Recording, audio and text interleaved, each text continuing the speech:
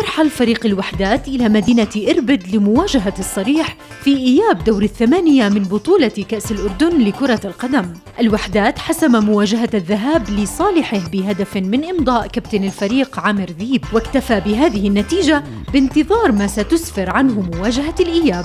المارد الأخضر الذي يعيش في أفضل أوقاته هذه الأيام يعي تماما أن نتيجة 1-0 غير مطمئنة في مواجهات خروج المغلوب. لذا من المتوقع أن يدخل أبو زمع المدير الفني للوحدات هذه المباراة هجوميا للابتعاد عن الحسابات المعقدة.